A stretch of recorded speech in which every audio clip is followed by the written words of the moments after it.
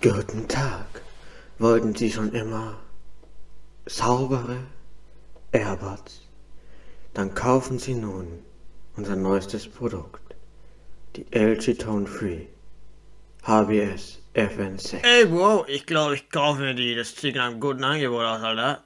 Die sind immer sauber. Ich glaube, das stimmt nicht so ganz. Das ist doch nur Werbung. Ey, Bro, ich habe sie mir gekauft. Ist fertig. Oh Mann. Ja, dann schauen wir es uns mal an. LG Tone Free. HBS FN6. So, jetzt kurz zur Box. Wir haben die Vorderseite, da sieht man einmal das Bild und einmal Informationen darüber, dass UV Nano dabei ist. Dann auf der linken Seite haben wir die QR-Codes für die Apps, auf der rechten Seite haben wir Informationen und auf der Rückseite haben wir einfach ein Bild von den Kopfhörern im Gehäuse. Kurze Informationen zum Gehäuse. Das ist relativ klein, hat eben dieses UV Nano, hat ein Mood Light eingebaut, um blau zu machen, hat ein Licht für die Akkuanzeige, hier seht ihr mal kurz eingeblendet, ja was welches Licht bedeutet und es gibt auch Hüllen dafür, die ich auch habe. Äh, weil, äh, ich, das sind einfach Anschriften, du steckst die in dein Ohr und da kommt Musik raus, äh, was, was soll das denn, da gibt's ja nicht viel zu erzählen. Ja, es sind natürlich normale Ohrstöpsel, da kommt Musik raus, aber trotzdem, Sachen zähle ich euch schnell auf. Wir haben Silikonaufsätze, sie sind nicht ganz am Ohren liegend, sondern etwas abstehend, haben guten Sound, haben eine schnelle Verbindung, man muss nur das Gehäuse aufklappen, dann sind sie verbunden. Wir haben eine relativ kleine Form und eine gute Reaktion auf das Touchpad. Leider haben sie kein Noise Cancelling, aber wenn man beide eben drin hat, dann ist es auch sehr gute Abdämpfung.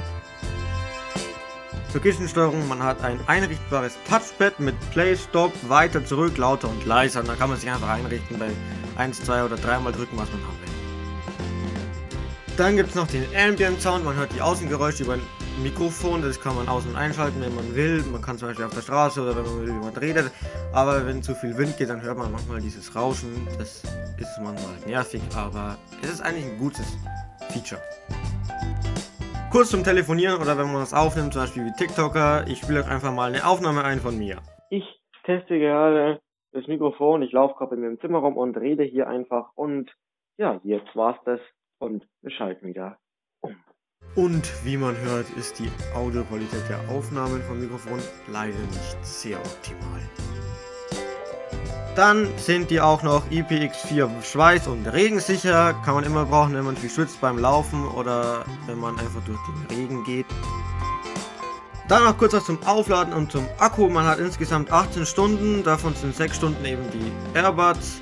Und mit dem Aufladen dazwischen hat man 12 Stunden, also das Case hat den Akku mit 12 Stunden. In 5 Minuten aber mit der Schnellladefunktion eine Stunde Musik und man lädt es entweder mit USB-C-Kabel auf oder durch Wireless Charging. Dann gibt es natürlich noch die App und zwar heißt die LG Tone Free. Man sieht eben einmal, wie viel Akku die haben. Dann kann man einmal den Equalizer einstellen, kann die Umgebungsgeräusche einstellen, kann die Lautstärke der Umgebungsgeräusche einstellen, kann die Lautstärke der Ohrenstöpsel einstellen. Ey, ich finde sie eigentlich gar nicht so schlecht. Ich hab's ja noch gesagt, Alter, sie sind nicht so scheiße. Ich hab sie mir auch gekauft und ja, sie sind geil. Ey, Bro, ich glaube, ich kaufe mir die auch.